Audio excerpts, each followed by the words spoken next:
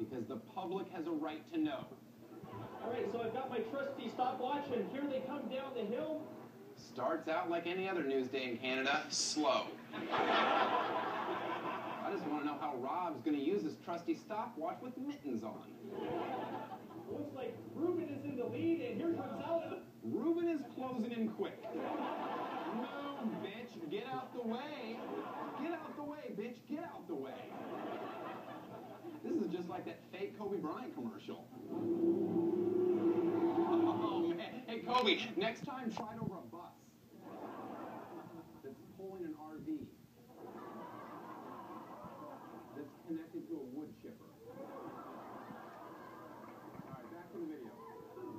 He dropped the stopwatch. Oh no, now we're never going to find out if Ruben has the course record. But he did pull off the backside rodeo flip. Good thing free health care in Canada. Show it again. Hmm. At least the flip put Rob's hood on his head for him. Probably his dead mother saying, Bundle up, son. I still love you. Those were butterfly kisses.